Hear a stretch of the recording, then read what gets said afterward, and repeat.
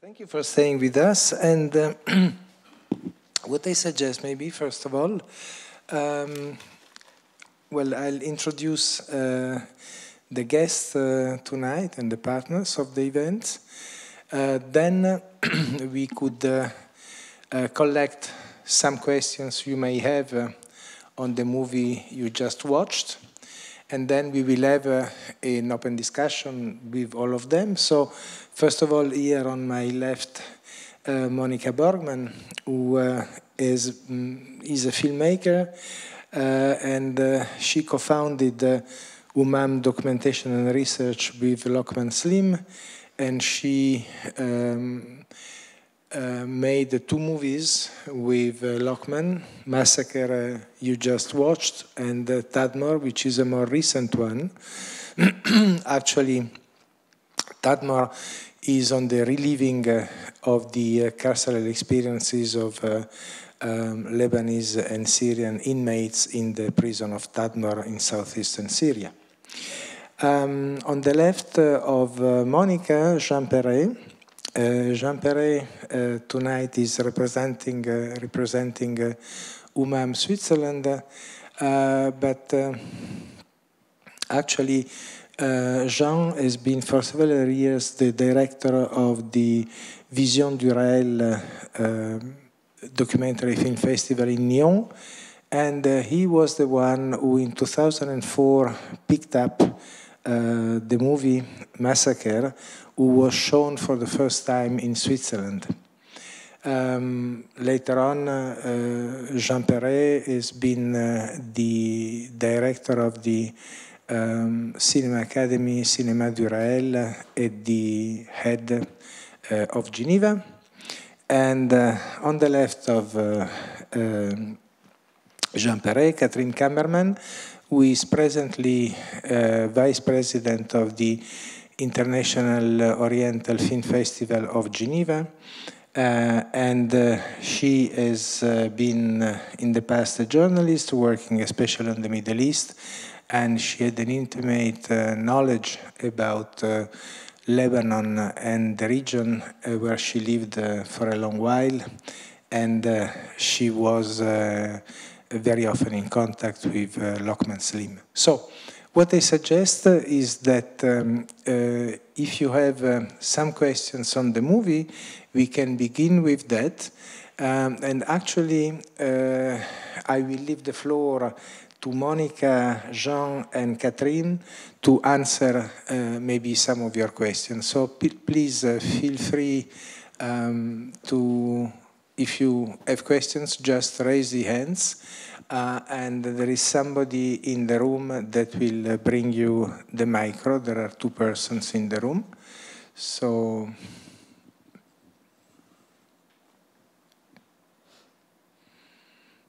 probably you feel traumatized, which I understand perfectly well. So may, may, oh, oh yes, there is a question over there.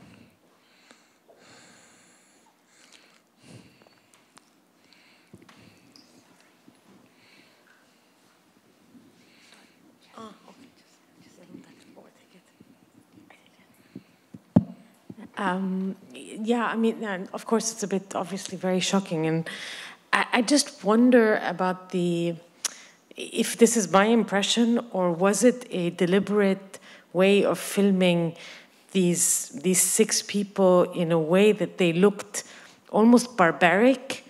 It is this is this was this sort of you know they looked at some point they had white t-shirts, but then at some point they looked black. Was that sort of a deliberate? Um, way of picturing them, or was that sort of a um, you know byproduct? It's just interesting because it sort of adds a lot to the effect of what they say somehow throughout the the, the film. So it's just just a point of interest. Uh, if you agree, let's take a few questions yes. maybe, and we can group them. We can answer. There is somebody else over there.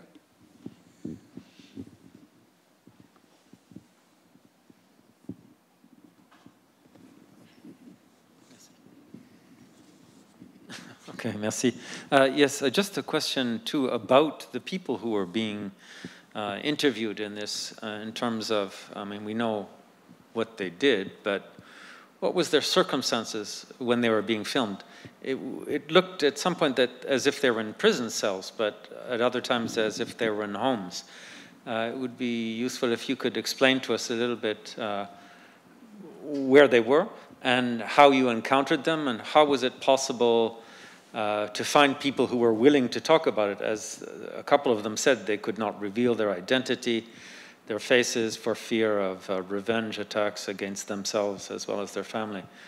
Thank you.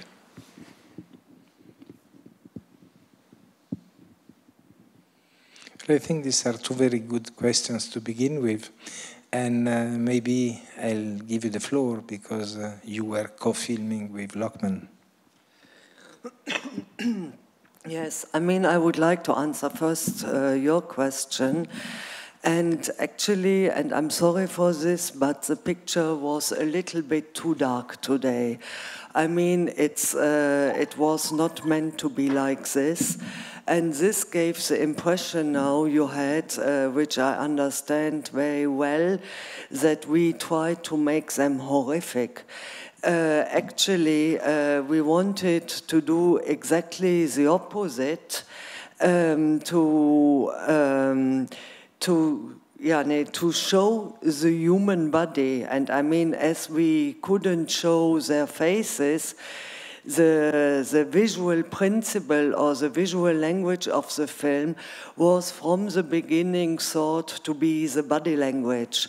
And in this sense, I mean, um, we asked the six men if they would have a problem at one point uh, to turn out their shirt, that we really concentrate on the body. Uh, two said they have a problem, so it was fine.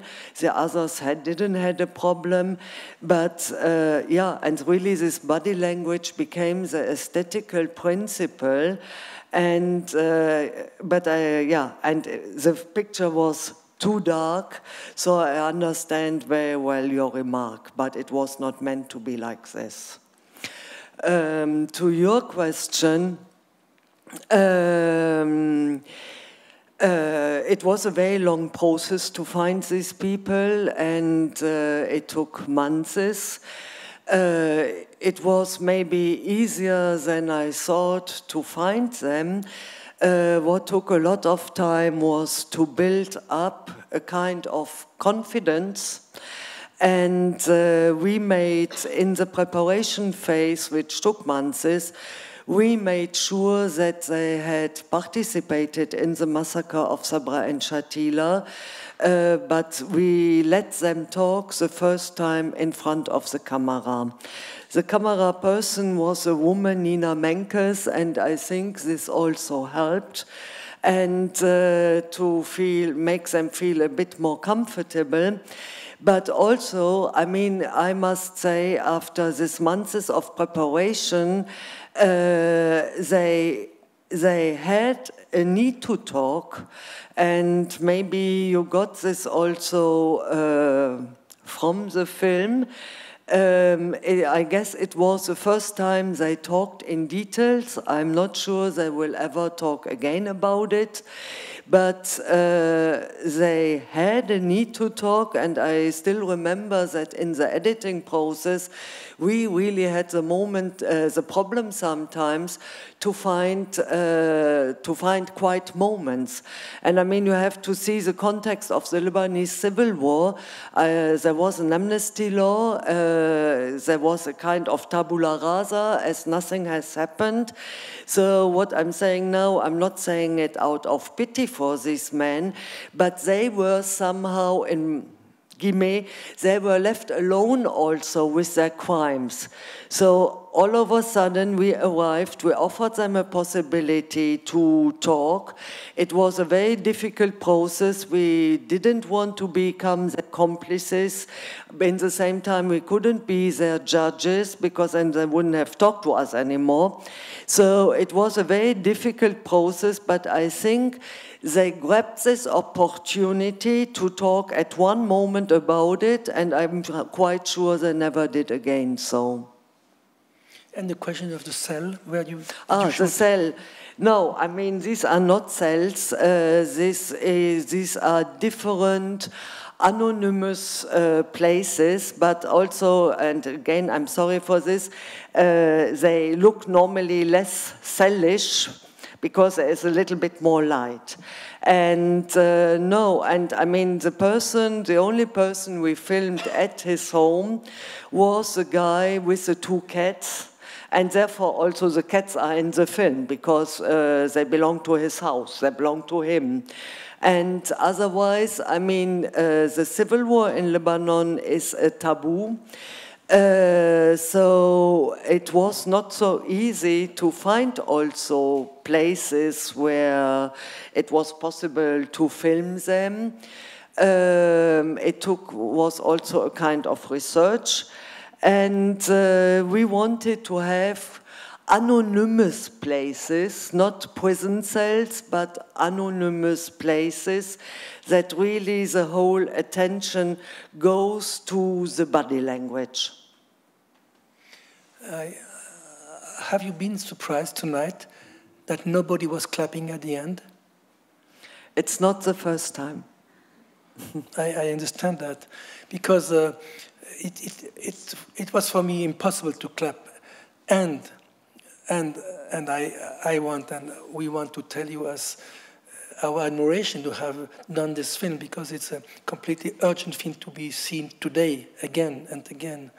Um, and especially because um, you, you way to approach these persons, these men, is a way with no arrogance. Actually, you're filming with this camera always on the shoulder, always looking for something, focusing, zooming in, out. You, you try to understand uh, what was going on at that time. You try to, in French, de prendre la dimension de l'événement. And uh, I think it's, it's absolutely fascinating how you, you try to, and you, you don't say, we want, we know, we, we try to know, we try to understand. And then in your dramaturgy, uh, at the end, the end is terrible. It is, it's, it's terrific, terrifically terrible, you know. But you, you build up a, a kind of journey in order for us, spectators, to understand something and not only to be uh, suffocating by, by, the, by the words and the body language.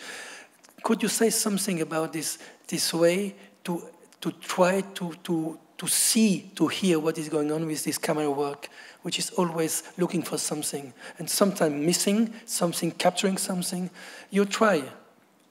Yes, it was a trial. I mean, this film is really a trial. Uh, through the camera work, through the interviews, to understand uh, the phenomenon of collective violence.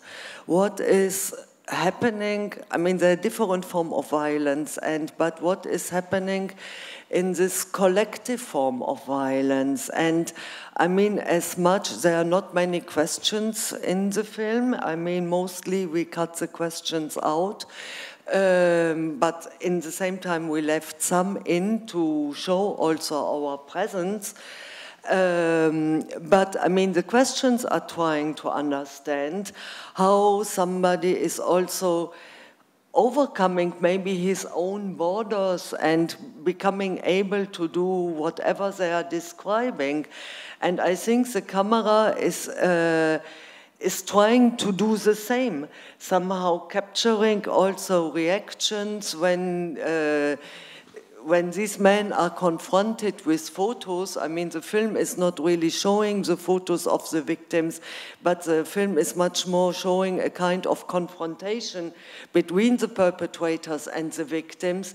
So the, the, the camera is, and I mean, I come back to, to what I said before, that uh, as we couldn't show faces, I mean, we decided the, the body language is becoming uh, the aesthetical principle. So the, the camera is trying to follow also the body, how the body is, uh, is reacting to even the words. Yani sometimes the reaction of the body, it's, it's contradictory of what the men are saying. So the camera is in a permanent process of capturing these moments. did you stage some moments? Did you ask for specific ways to, to behave? For the camera? Yeah. Uh, yes, we gave indications. Uh, we, the camera was was very quiet uh, in, the, in all the description before the camera. These were fixed shots, and the camera started to move when we are coming to the massacre. Yes, I mean, there were indications, of course, but in the same time, there was a lot of improvisation, and it was really the sensibility of Nina Menkes to capture these moments. Could you, uh, could you uh, give us some pictures of you on the set with Lokman. Uh, how did you work together? It was your first first uh, collaboration, uh, intimate co collaboration. How how did you work together? Um, uh, عايز يعني uh, well. Lokman and me, we met 20 years ago, and uh, this was our first collaboration, as you are saying. And uh, I don't know, it's a little bit difficult to, to describe, but uh, we have always been completing each other, and uh, this started really with this film. Um, I mean, we designed, of course, uh, with Nina, we designed uh, more or less the scenes, uh, we found the places, etc., etc. But uh, when you are in such a situation, we had both this feeling I mean, uh, with these guys, it's now or never in a way. And uh, we normally we filmed three with each one. We filmed three days, but also we never could be sure that they would come back the next day. I mean, they did so, but I mean, we had no guarantee that they would do so. So um, I don't know. There was uh, there were a lot of things, but there was this thirst somehow really on our both sides to understand. Uh, we were sitting during the shooting, during all these interviews, we were sitting always next to each other and actually somehow, um, yeah, communicating between us how to, to move forward, huh? because there was this kind of urgency. And I think uh, we succeeded also because we were different. I mean, I'm, uh, Lokman is a Lebanese.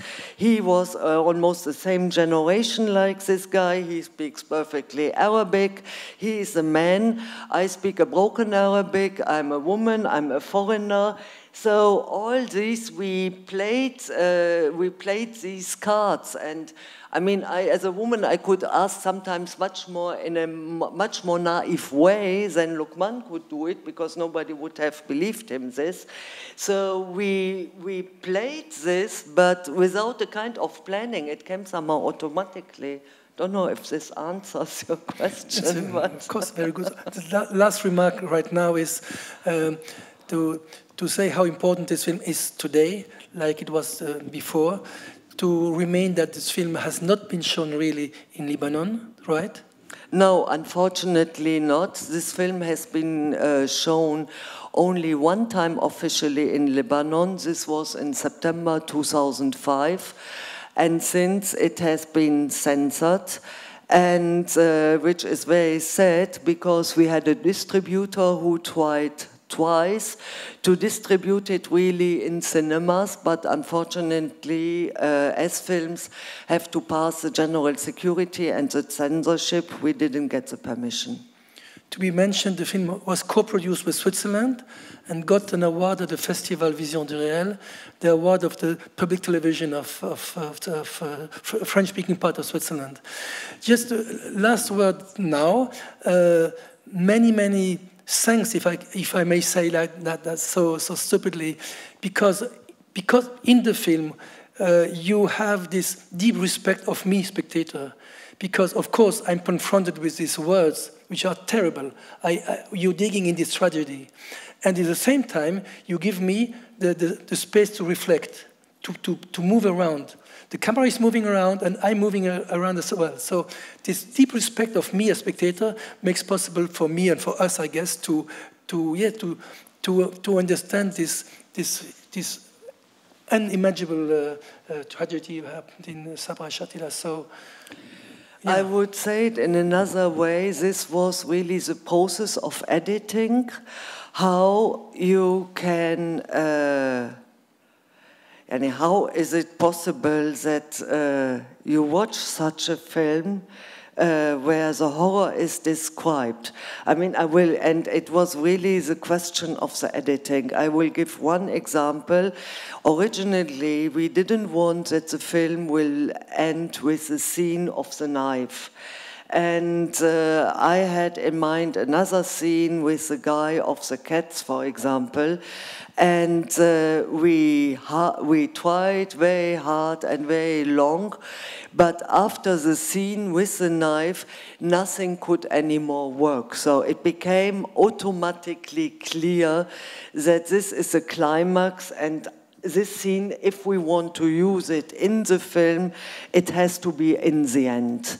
So it was, it's really uh, what you are describing as this freedom of reflection, it's, uh, it's coming through the editing. And there also our editor, Andemo, uh, who was some uh, very close friend, somebody who left, was living for years in Beirut, she had a major role. Catherine. Oui, moi je voulais dire que Lokman Slim pensait que euh, le Liban ne pourrait pas se sortir de ces fantômes de sa guerre civile euh, sans revisiter son passé. Et que finalement ce film fait partie d'un processus. Parce qu'en donnant la parole euh, aux bourreaux, en, donnant la parole à des bourreaux qui racontent la vérité crue, atroce, mais aussi combien banale d'une guerre. Et, euh, finalement, cela permet de comprendre, pas de comprendre et de, c'est-à-dire de ne pas juger, mais de comprendre comment les choses se passent dans l'esprit d'un bourreau. Comme Monica et Lockman, vous avez aussi fait ce film sur les victimes, comment ça se passe pour les victimes. Et je pense personnellement, et c'est ça, je pense, qui a intéressé le festival, euh, qu'il d'ailleurs, euh, qui a accueilli Lockman avec euh, Ricardo Bocco de Graduate Institute il y a quelques années. Ce qui a intéressé le festival, c'est au fond cette démarche, ce processus où, on peut comprendre, et, le fait de comprendre permet, au bout du compte, la réconciliation. C'est ça qui a au bout de cette histoire. Malheureusement, euh, si ce film était projeté au Liban, je pense qu'il pourrait servir. Et c'est là, c'est bien dommage. Voilà, c'est tout ce que j'avais à dire. Just to act there, I mean, uh, as uh, the film doesn't show the faces, and when we showed, when we screened the film or showed the film in September 2005 in Lebanon, there were around 700 spectators, and uh, amongst them were also survivors of the massacre. So at one point, I was really afraid uh, that they would pressure us to reveal the identity of these men. And it didn't happen. They were, in a very strange way, almost in brackets, relieved. It's a terrible word to say because um, finally the perpetrators, perpetrators were confirming what they have been telling for years. So this was this kind of relief. Yes, I mean, it, what we were telling you since years, it really has happened, and the perpetrators are confirming it. In and French, this is very uh, important uh, for the victims in all processes of transitional justice, once the perpetrators confirm what the victims say, it turns to another story. Une, une, une, citation, enfin un rappel, euh, quand on parle de la mémoire, la mémoire vive, et j'ai une citation, la mémoire vive exige l'oubli. Et il y a quelque chose de très intéressant sur le plan psychologique, psychanalytique, de, du rapport entre la mémoire, qui paradoxalement permet un oubli momentané au moins. To reconcile, you need not only to um, to keep the memory of a number of events, people, and facts, but you need to forget. some parts. This was what was basically um, Renan, the famous uh, French philosopher, said at the end of the 19th century, talking about nationalism, nationalism and unity in France.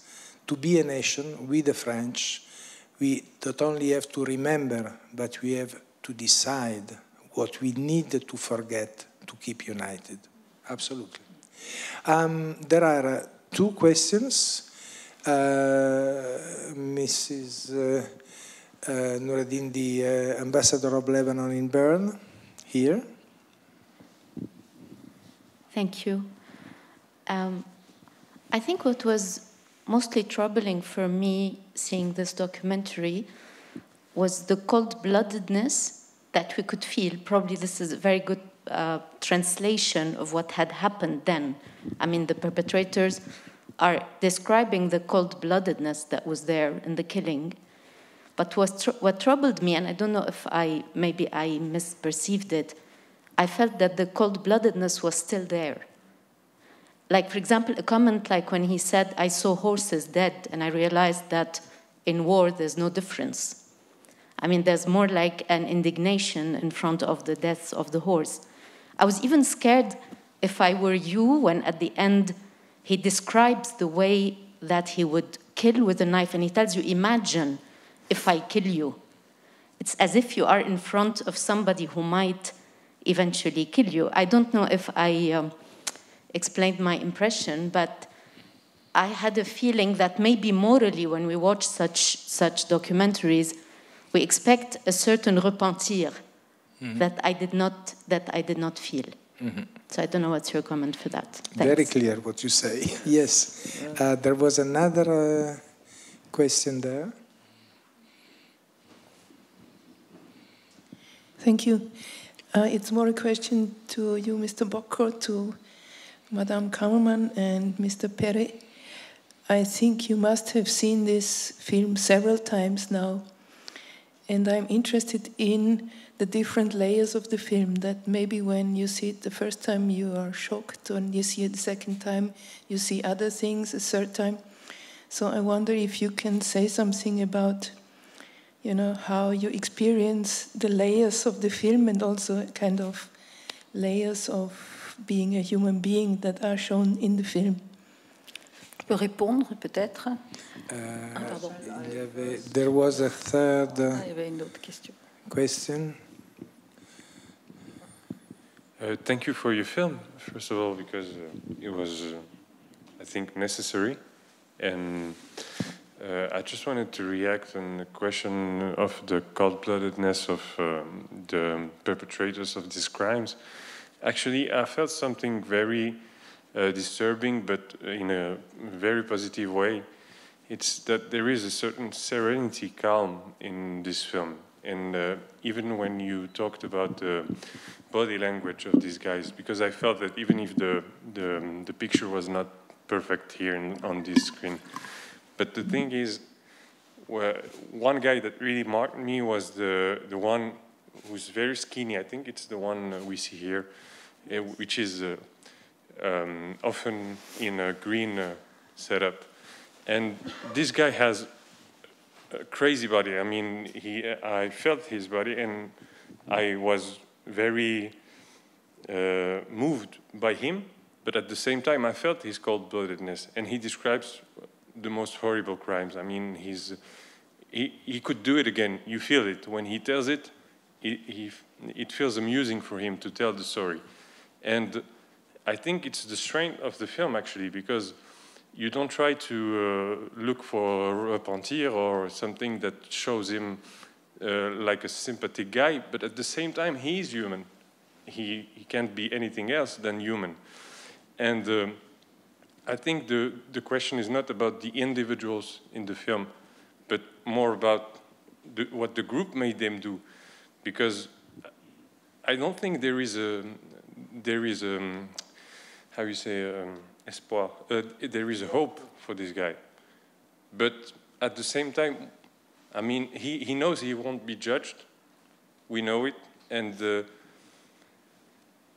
but it makes me feel good to, to see him say it. I mean, it's necessary for me because the, the crimes are horrible, but but the film is necessary. I mean, what we see here is like it was very disturbing for me because I felt good watching the film. I felt like it was a almost spiritual film, you know, and that's what I wanted to say. Just uh, it Thank wasn't you. a question. Thank you. There is a last question over there, and then uh, we come back to the panel.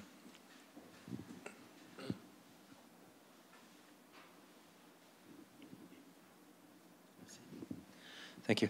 Yes, I, I, I want to come back to this question uh, about uh, repentance. Um, did you get a sense when you were interviewing these men that they did believe that what they did was wrong?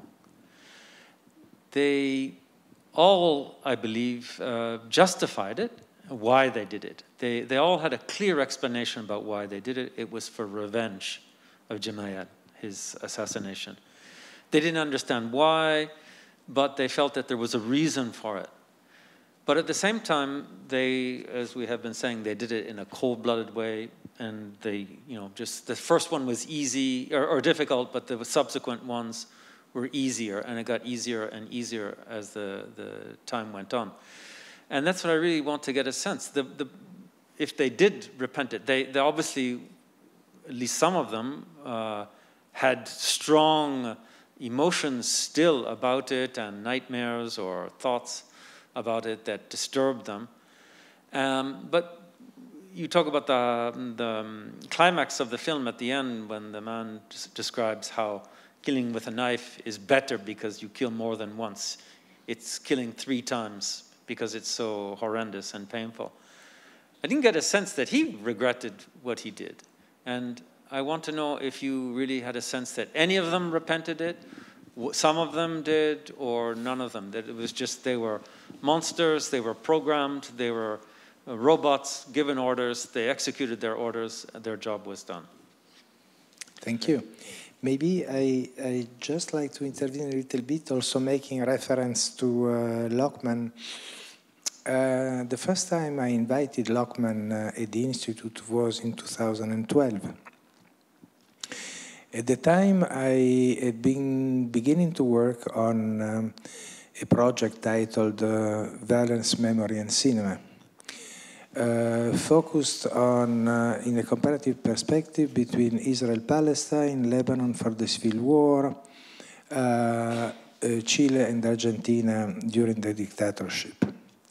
Now, with Lokman, uh, we began to highlight common say, topics and ways in movies from those countries and beyond um, portraying perpetrators. You have a good uh, uh, 20 movies about perpetrators that witness during uh, and after the dictatorship in Chile what they did in terms of torture. Even more, at least 30 movies on Argentina uh, think to uh, Rithy Panh. He has made several movies. Duch, one of the most famous one, on the uh, director of uh, S21, the famous prison uh, where more than 12,000 people were tortured and killed. Or Joshua Oppenheimer on his uh, two movies related to the genocide in Indonesia, where they always interview uh, uh, the, the uh, perpetrators. And the perpetrators describe, sometimes in a very cold blooded way, sometimes joyfully, hmm, because uh, if you go into details, for example, you have different traditions of torture or of killing. In, during the Chilean dictatorship, uh, torturers were using classical music. In Argentina was rather popular music and especially French, uh, Dalida, etc., were their favorites during torture. In Indonesia, the favorite was rock um, uh, music from the States. So you even have these sub-traditions, and people, when they remember, when they were per perpetrating what they did, they are articulating different aspects and of camar- camaraderie with all the people around. huh? All the people around, meaning that, okay, there is the guy who tortured, but then you have the people who serve food to the tortured, who uh, uh, drag the bodies, uh, the corpses, etc., etc. So you have all an infrastructure. It's, it's a system that works around. And in that case, I rarely saw people repenting. This is not the issue of repenting. Sorry. Yeah, I just would like to answer uh, concerning the film. I mean, uh, no, there is no regret. And I mean, we have been often asked, uh, is it on purpose that you edited the film in the sense that there is no regret?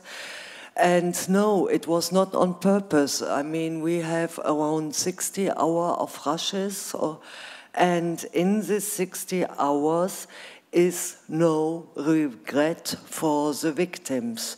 And uh, what we have is, and I think the film is also showing it, is a kind of autopity. Yani, I have nightmares, I have, uh, I, there is this nuage who is coming over me. Uh, it's, it's so difficult to talk, it would be easier to go to war. But this is not a regret for the victims. And um, I think the film is, in this sense, unfortunately, also showing a certain kind of reality in Lebanon. Uh, where I would say that the majority of uh, former fighters whatever of uh, independently to which uh, fraction or community or militia they belonged, I don't think that they uh, really uh, regret because there is also, I mean, there are some, you have some famous examples in Lebanon. There is a person called Assad Cheftari, who made public mea culpa. But these kind of cases are very rare. So uh, I, I, unfortunately, I think that uh, the la manque, uh, la manque de regret, la, Manque de regret. yes, uh, shows a kind of certain reality which is still prevailing in Lebanon. And just to answer your question briefly, very briefly, uh, watching the film many times, you, I discovered the complexity of the situation because these guys are not alone; they are organized. It's a fantastic organization around them with Israel and the, and the Lebanese army. It's, it's a very professional organization, and they are also part of it, and tools, part tools of it. And you, you tell this story. It's Yeah. very complex story with different layers, as you say. And by the way, what uh, Monika just mentioned today is a famous film of Eliane Raheb uh, titled The Sleepless Nights, which is the confrontation between Assad Shaftari and the mother of a young uh, um, guy who was uh, killed. Hmm? And, uh, and in the movie, by the way, there is also Lokman, who is uh, part of the debate, uh, the documentary, because of his work on the enforced disappearances in Lebanon. Sleepless, the Sleepless Nights is really a great movie, not to be missed. We have it at our library. Catherine.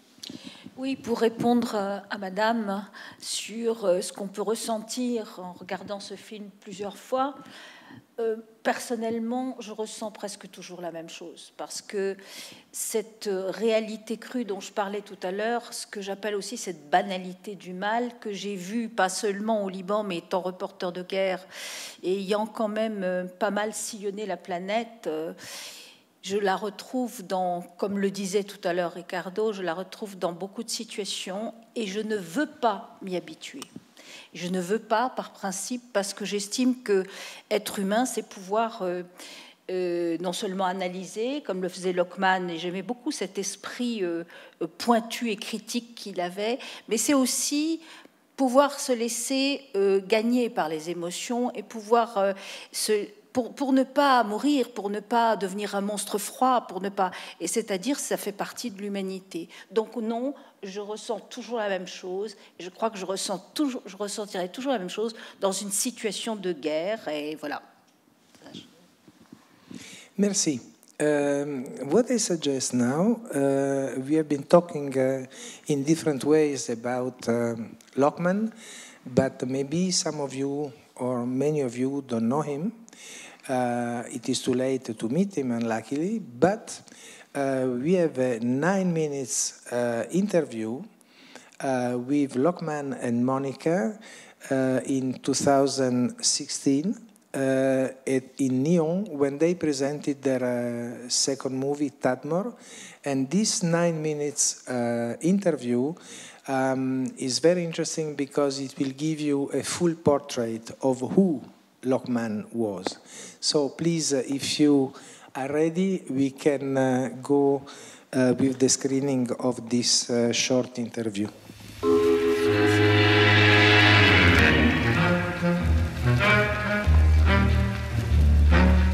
Bon, on va pas raconter l'histoire en entier, mais disons que c'est un tout petit peu l'histoire de notre travail, d'une part, qui se focalise surtout sur la mémoire, sur la violence, et c'est un tout petit peu l'histoire aussi de la région, euh, je veux dire du Liban et de la Syrie.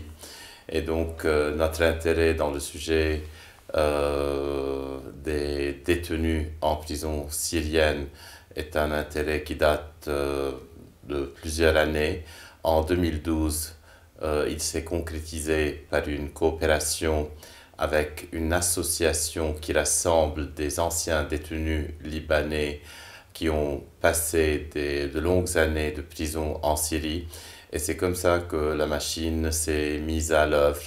Et petit à petit, euh, on est arrivé à euh, l'idée de travailler avec eux sur ce film.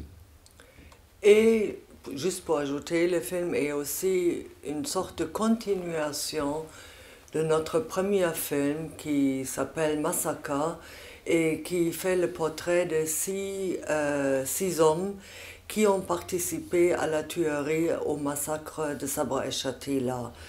Et euh, disons, si le dernier film Massacre a cherché des réponses sur la violence collective via les bourreaux, ce film-là cherche des réponses comment survivre ce sort des atrocités.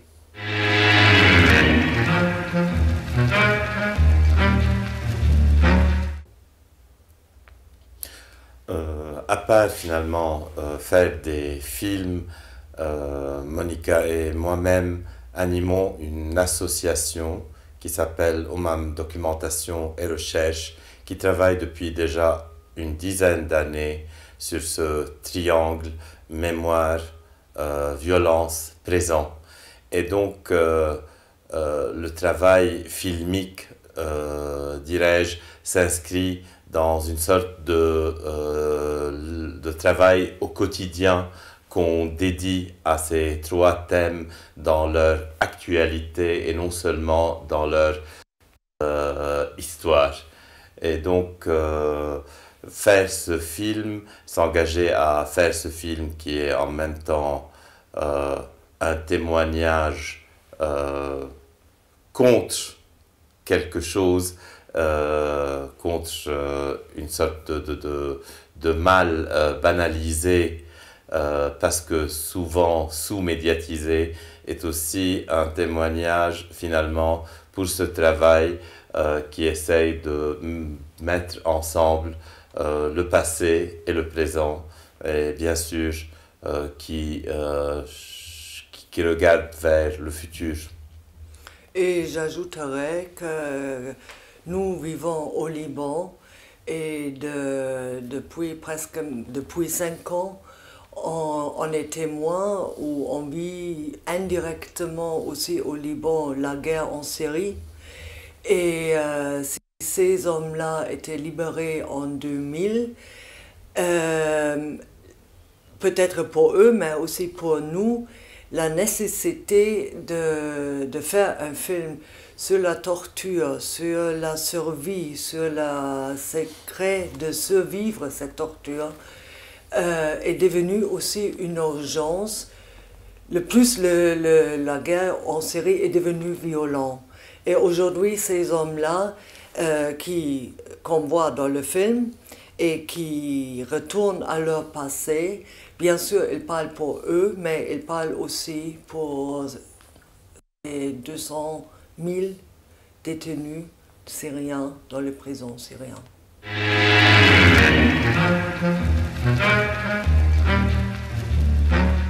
Je crois, nous, on a une préférence de, créer notre, entre guillemets, notre propre réalité. Ça veut dire, euh, l'approche esthétique suit un peu l'approche de notre previous film qui est Massacre. Veut dire, les deux films contiennent des interviews. Le film Tatmo a un autre élément qui n'est pas des interviews, mais pour rester sur les interviews, pour des raisons très différentes, mais les deux fois, on a tourné euh, les interviews dans les lieux plutôt anonymes, mais qui sont, mais qu'on peut identifier qu'ils sont situés dans une ville arabe son.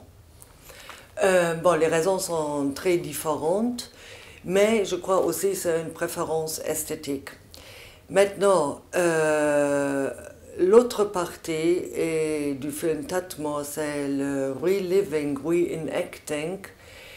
Et là, c'est un travail euh, qui se fait en collaboration avec les détenus, les ex-détenus, euh, qui ont reconstitué leur prison ou leurs cellules individuelles et collectives.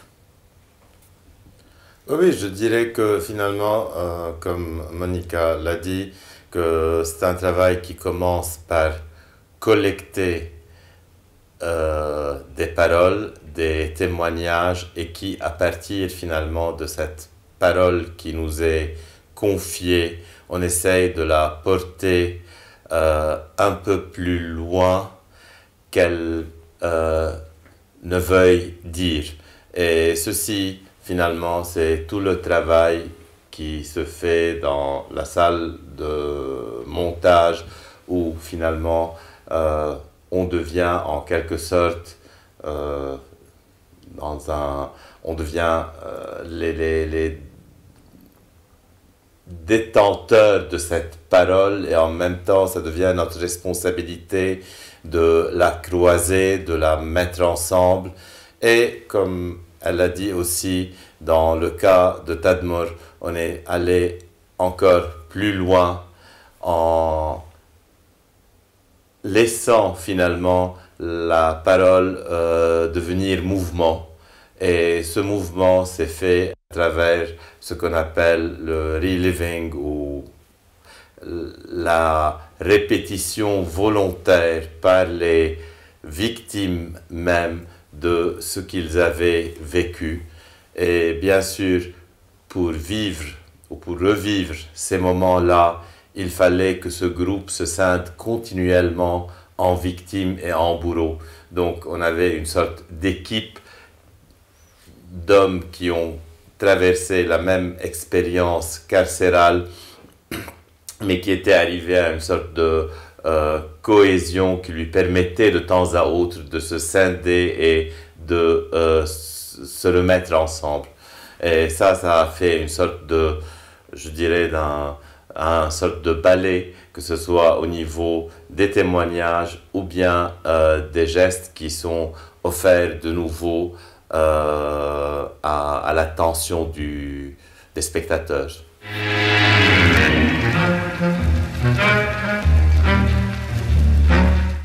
pour nous, en tout cas, c'est un film euh, très universel, dans le sens euh, que même si l'actualité, par exemple, en série change, euh, le film garde son actualité. Mais comme euh, on est encore en guerre et malgré, malheureusement, ça n'a pas l'air de finir demain, je crois qu'il faut juste pas oublier que ça c'est exactement qu'est-ce qu'on voit dans le film et peut-être encore pire ça se passe aujourd'hui et maintenant.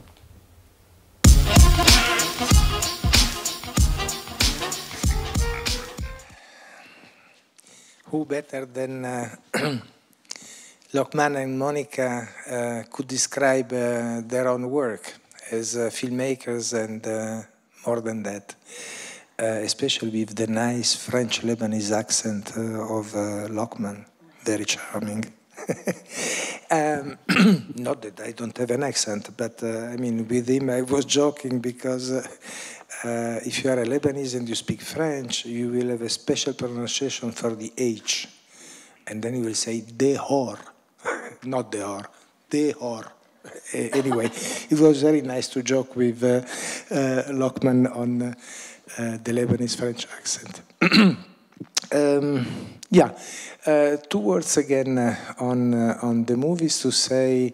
Uh, first of all, uh, tonight um, we are honored to have among us the former ambassador to Lebanon, Mrs. Ruth Flint, um, and uh, I like to mention her presence also because uh, Switzerland has been behind uh, cultural production of different types, including cinema in Lebanon, and especially with issues related to dealing with the past.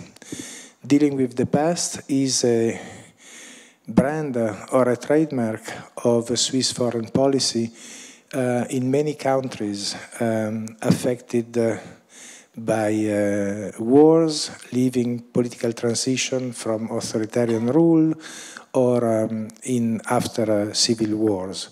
Actually, uh, the very expression dealing with the past was coined uh, in the late 90s by uh, then uh, uh, Peter Maurer, today the president of ICRC. At the time, he was the head of the fourth division of the Swiss Ministry of Foreign Affairs. And the project of working on the dealing with the past was actually um, what Switzerland did as its specificity when Switzerland entered the UN. Switzerland entered the UN in the in the early 2000s, and uh, they brought uh, the notion and uh, all what goes around in terms of dealing with the past and transitional justice as a specific Swiss contribution. Thank you, Mrs. Ruth Flint, to be here. Um, and the work of Mrs. Flint has been pursued by Antoine Barras, uh, the ambassador that succeeded her and is going on. Switzerland, like uh, the European Union, like um, Germany, have been contributing to fund uh, uh, UMAM Documentation and Research Center. And I would also say thank you. Tonight we have also in the public Irene Challand. Uh, Irene Challand, uh, she uh, has been for several years responsible of the um, documentary filmic archives of the uh, Swiss uh, television, the Swiss uh, French television. Um, and um, Irene has been as well contributed on behalf of the RTS to co-produce the second movie um, of uh, Lokman and um, Monika Tadmor. Thank you for being with us tonight, uh, Irene. Um, we have been speaking uh, quite a lot about uh, uh, the film uh, activities, the cinema activities of both you and, uh, but this is not the only activity that we have to remember for what happened in the past, but also what happened in the future. So maybe it would be important in, if in few minutes, uh, uh, Monika, you tell us a little bit uh, what are the structures now of the foundation, uh, Lokman Slim Founda Foundation, Foundation, the uh, UMAM uh, Documentation Research Center in Lebanon and now in Switzerland. Well, I will be try to be short. Lokman uh, was somebody who had a lot of facets. So Lokman was not only a filmmaker, he was a publisher, he was a writer, he was uh, uh, he was a political activist, he was a political commentator on on TV, and he was so much more. And so it was somebody who had really many, many facets. After completing the film Massaker, we founded in 2005 our organization, Umam Documentation and Research. And uh, had a parallel activity, uh, which was another organization uh, called Hayya Bina, which worked mainly in Lebanon in the Shia milieu and um, trying to create alternatives to traditional parties. Um, then I now, I mean, Lokman was in the south of Lebanon, uh, in a region where Hezbollah is dominant as a political factor, but also in a region which is under uh, UNIFIL control. He was coldly, with six bullets, executed and uh, we feel uh, what is clear for us that uh, they could kill him, whoever it was, but they cannot kill his ideas. And so the legacy of Lokman has to continue. And the legacy of Lokman will continue through our common work we have been doing, Umam documentation and research, but the legacy of Lokman will also continue to a newly created foundation, which is called the Lokman Slim Foundation. And the Lokman Slim Foundation will preserve and make known his writings, his library, the books he loved. But this foundation will also work on political assassinations in the MENA region and against the culture of impunity which is also uh, reigning in this region.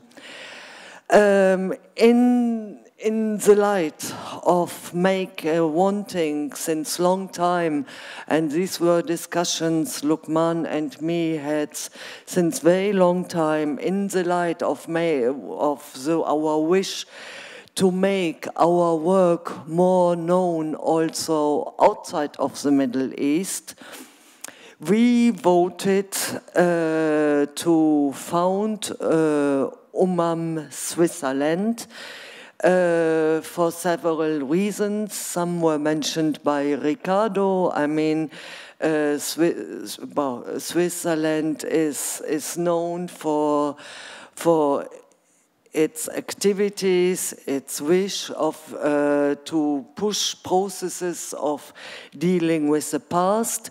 In the same time, we are part of a network here in Switzerland, which was launched by Swiss Peace and which is called Safe Havens for Archives. And uh, this network is bringing together organizations like us, national archives. Uh, it's uh, it's um, it's opening for network activities and and and I don't want to go to all these details, but these were the main two factors why we voted uh, to uh, have a sister organization in Switzerland. So um, the sister organization uh, was founded in a little bit difficult uh, conditions because of COVID-19 and we were unable to travel and uh, but it, uh, it's existing legally and today I'm on a very personal level um, because now I mean we are without Lokman. Uh, I was very, very moved by uh, a group of friends who are here be, between us, who contacted me and asked uh, what can we do and also to preserve the legacy of Lokman. And finally, this is, yani, they are here between us. Uh, this, uh, this is the new board of UMAM Switzerland. Thank you. Um, unluckily, we are uh, reaching the end of this uh, event. Uh, uh we are not disappearing, uh, we are just going up. Uh, mm, we have to free the room. also, the personnel of the Institute, which has assisted us un until now, um, they will also enjoy ending their day. Um, I'd like to say two more last things. Uh, one is that uh, uh, part of the archives that are presently scanned in Beirut of UMAM, some of them will also um, reach the Institute. And uh, for that, uh, I also wish to thank the cooperation of uh, the director of our library and archives, Mr. Yves Corpato, uh, who is working with um, Monika and the staff uh, in Beirut uh, to follow up on this project. And another project uh, that we are setting up uh, is um, a follow-up in collaboration with, with Beirut with the Middle East and North Africa Prison Forum which is uh, a, um, an initiative uh, related to research webinar uh, publications on the present carceral conditions in uh, the Middle East and North Africa. And for this, uh, I'd like also to uh, thank Gregoire Mallard, which is the research director of the Institute, who has been immediately supporting the project. Uh, of course, uh, the German uh, GIZ, who is funding the work of two PhD students uh, that will be involved in the uh, MENA Prison Forum uh, starting from September this year. So, beside thanking all of you for your time. Ah, yes, please say. Yes, very shortly it's important for all of us to understand that these archives means also pictures, also films, also sound material, also radio broadcastings. So it's a, a concept of audiovisual and um, legacy and, and paper. Yeah. And with all the technical problems of digitalization and so on, but it's a big, a big amount of work, but including what we can hear and see. And this film is, of course, an important part of these archives. We, we need we need Very to understand. Important. And uh, if I may ask a yes. question, you, uh, we, we, I asked it before a little bit, but um, in, in cinema, when you have one shot and a second shot, uh, you can count, it's two shots. But it's not true. In cinema, you have one shot, editing, second shot, and then it creates a, a third, a third ID, a third meaning. And the question is very, very simple question, uh, motivated by our mourning, by our emotion after the death of Lokman. Uh, both of you, you and him, him and you, you were working together one on one. But we, you, you have been three because of your commitment, political, political, poetic commitment uh, in, in, in, your, in your daily life. So could you say some word about this kind of, I don't know, miracle of to be three, because even though you're one or two. Um, it's very difficult. Um, it's uh. We were completing each other, what was very beautiful, and I mean, I think somehow, uh, if you come by completing each other, through completing each other, I mean, we were able to to do our films. We were able to found Umam. Uh, we were able to have uh, 20 wonderful years. Yeah. And uh, thank you, uh, Jean, for uh, having reminded about the content of the archives and the audiovisual uh, part, which will certainly allow uh, to pursue a cooperation with uh, the International Oriental Film Festival Geneva also on that aspect of the archives. Um, I'd like to conclude saying that, um, first of all, thank you for your presence. But as Jean said before, we could not clap at the end of the movie. But uh, I think we should clap in memory of Lokman and his work.